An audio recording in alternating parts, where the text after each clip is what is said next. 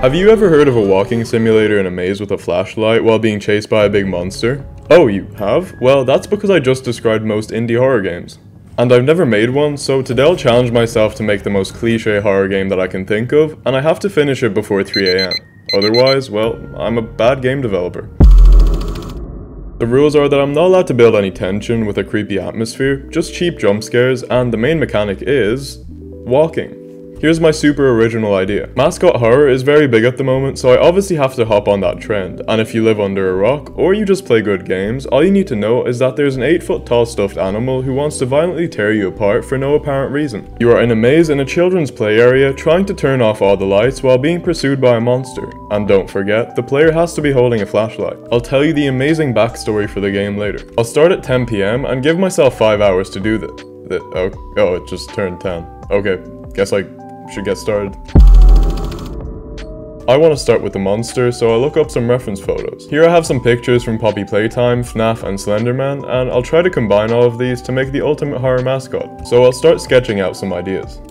Oh no, I can't draw. Okay, I guess I'll just move on to sculpting. Guys, I can't even sculpt. Okay, I give up. And please, before I show you this, I need to remind you that this is terrifying, so please Please don't laugh when you see it. After that abomination I just created, this texture needs to do wonders, so I'll start with some sort of fabric monster which likes to eat people at night. You know, just classic monster things. I'm not going to show you the final monster just yet because I think it's going to scare you guys too much, so let's get started on the game.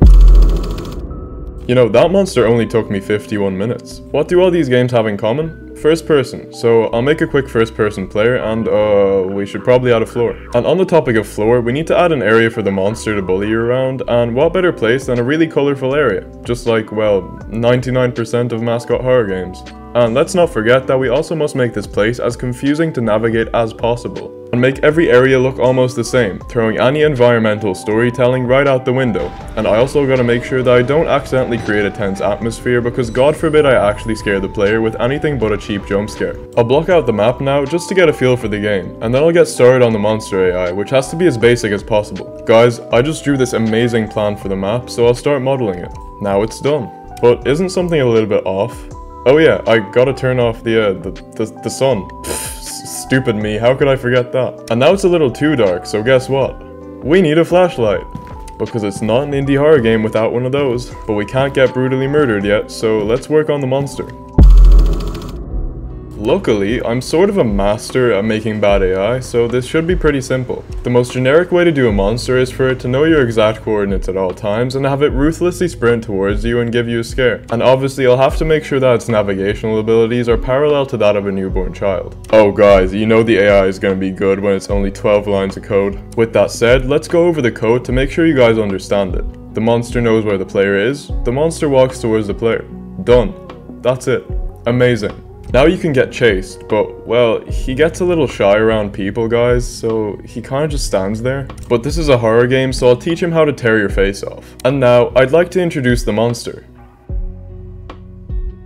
Oh, sorry, that was the subscribe button, which you really shouldn't be afraid of, so go on, go click it. Yeah, there you go. Alright, here's the monster. He's not bad, but What's one of these games without a really goofy walk animation? So I threw one together and it just makes everything look so... good. Honestly, 90% of Steam devs would probably stop here and put the game up for the price of two AAA games, but I'll keep going. Now it's time to add an objective.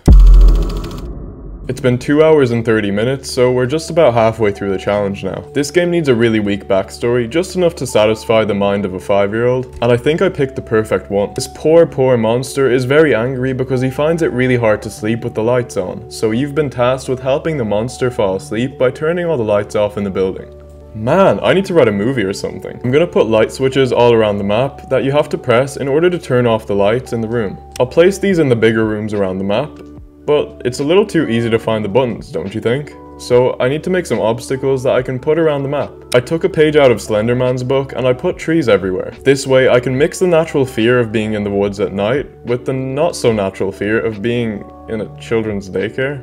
I'm just kidding. I'll make some tables, chairs, playing cubes, whatever these are called. And in true asset flip fashion, I can't have too much variation in the obstacles, otherwise the game would be too immersive, and we definitely don't want that. I'm also going to make sure none of the assets have a consistent art style to really hammer home the Unity Asset Store aesthetic. I did some mining off camera, and I remembered something very important that I forgot to mention. The prop placement has to make complete 100% sense. Just how I put this chair on top of the table here, or put this chair in the middle of a hallway, and put a bunch of little tables surrounding a massive chair. Now for the part I've been dreading. I have to make some monster sounds.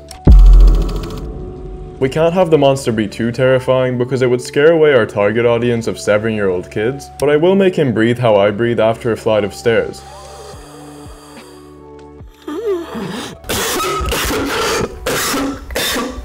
Yeah, I'll cut that part out. I also need some footsteps, and considering he's fabric and soaked in blood, I'll make his footsteps squelch. I'll also add some reverb, because reverb equals scary. We all know this. For example, subscribe.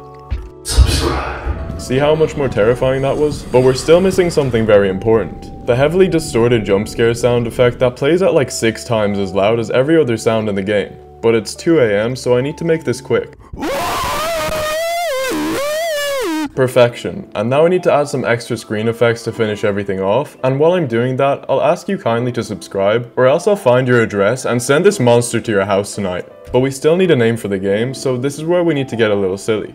We have to name the monster something childish, so let's go with Stinky, because I assume his breath would be very stinky. And for the name of the game, looking at my competition such as Garten of Banban and Poppy Playtime, I'll go with Stinky is Sleepy. It's up on itch.io if you want to play it for yourself. Be warned, it is absolutely terrifying. It's 2.34 in the morning, and I'm finally finished, so I'm gonna play it live in front of you guys. So, as you can see here, I've made a very nice main menu. Lots of color. The play button doesn't work. Okay, give me a minute. As you can see here, I've actually fixed the main menu button. Alright, so after some technical difficulties, we're here. So you start off in this beautiful um, corridor here. There's Stinky. Uh, wow, he's a lot faster than I remember. Uh, okay.